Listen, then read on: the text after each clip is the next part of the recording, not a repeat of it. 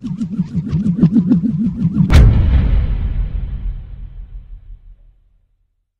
Hello. Can I grab a picture with you Yeah. and reenact the last one? absolutely, absolutely. Uh, thank you. All right. Thank you so much. I couldn't believe that was only ten years ago when I saw yeah, that isn't that picture. crazy? It's I looked at it. I still have it on my desk, and I was like, See? I have to get this reenacted. I was like, man, I didn't, Right? Time I didn't realize how much you could change in ten years. Especially you. She didn't change That's- much. Yeah. She didn't change I was much. talking about me, I wasn't talking about her. Somebody else looked at it and they said, man, you looked really good.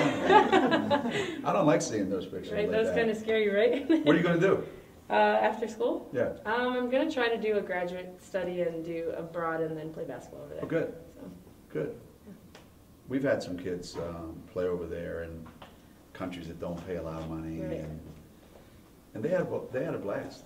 I know? just wanted, because I wanted to go to Europe just to see it. So that- that's what they did. They just wanted to go over there, go play, hang out for a little bit. Gives you a little Um, time before you figure out what you Yeah, have to do. yeah. so. I mean, not everybody that goes over there is getting paid like Diana, Right, you know, yeah. so there's a lot of kids over there just enjoying living over there and, That's what I would want to do. yeah, so.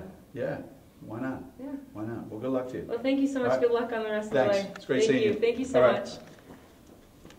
Amen.